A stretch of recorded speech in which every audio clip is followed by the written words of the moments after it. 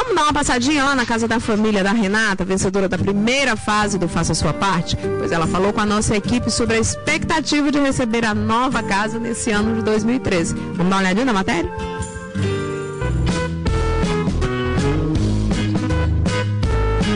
Continua a reforma na casa da família Cavalcante Lira.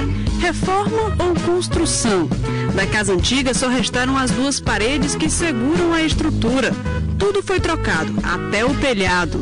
Praticamente agora só parede de piso e acabamento banheiro. E aí você vai contar pra gente aqui, em segredo, sem revelar muitos detalhes, porque a família também tá ali. É, essa casa foi colocada praticamente só do zero, né? É, ficou só as duas laterais, as duas paredes laterais, o resto saiu tudo. O que a gente vai poder encontrar de diferente nessa casa no dia 15? A cozinha, o banheiro, que era muito apertado, e no meio da sala nós levamos lá para trás, para ficar perto dos cômodos, dos quartos. E outras coisinhas que tem que descobrir na, quando estiver pronto. E seu Raimundo, essa já é a 22 segunda casa que o senhor entrega. Um projeto desafiador, já que o espaço é pequeno. Mas conta pra gente, esse não foi o mais difícil de reformar. O mais difícil foi o lá no Monte Castelo. Que teve que correr porque a gente tinha desmanchado do nada. E era dois, um duplex. Bom, e essa aqui também ela foi difícil, porque ela é pequena, não é isso? É, tá sendo difícil por causa do espaço, por causa da, da, da distância, que a empresa é muito longe, a gente tem que pegar todo o material lá. Aí tá ficando mais difícil. Porque não chega logo Nem pra aguenta mais o peso desse relógio O Natal já passou, o Ano Novo também e o presente do Papai Noel vai chegar atrasado, mas vai valer a pena, porque os operários do Bom Velhinho estão trabalhando com força total. Quase um mês e mais de 60% da obra já está concluída. São oito operários, todos trabalhando em ritmo acelerado das 7 da manhã às 5 da tarde, para que no dia 15 de janeiro mais um sonho seja realizado. O andamento da, da obra está muito. Tá rápido. Tá muito. é, como é que se posso falar? Tá andando no caminho certo, né? Quando o senhor chegou aqui para ver o tamanho da casa, o senhor ficou surpreso, achou que ia dar um pouco mais de trabalho para ela ser pequenininha? Como foi?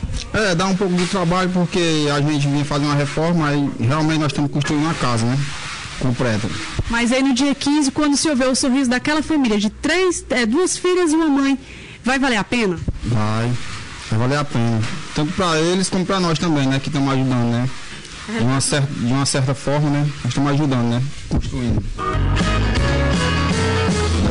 Falta banheiro, quarto Enquanto o dia não chega, as meninas ficam nessa casa alugada, nada muito longe. Elas querem acompanhar de perto, mesmo sem poder ver como vai ficar a casa nova. Falta cachorro, tocar Não me falta A cachorro gente não pode entrar, mas a gente fica ali, né? Como a gente mora aqui perto, a gente fica só olhando aqui. A gente bota no portão, a gente vê que estão mudando algumas coisas, né? O que a gente dá pra ver por fora, mas não dá pra ver por dentro. É muita gente trabalhando.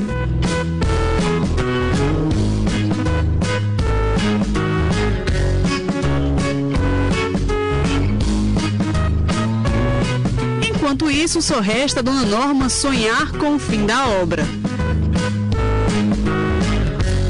Eu não tenho preferência. Do jeito que vocês deixaram, tá ótimo pra mim, viu? A minha felicidade fica completa. Não tenho nenhuma escolha. Do jeito nenhum. Do jeito que vocês fizeram minha casa, que se fosse dois quartos, comer minhas duas filhas, pronto, tá ótimo. Falta parede E nela uma porta pra você entrar Não me falta tapete Só falta seu pé descalço pra pisar Olha, vocês viram aí que a família ficou numa casa alugada enquanto a reforma está acontecendo, né? Agora a expectativa até você tá do lado e não conseguir entrar para ver o que elas estão vendo é exatamente o que você em casa está vendo também. Então a gente vai continuar acompanhando porque a entrega é esse mês.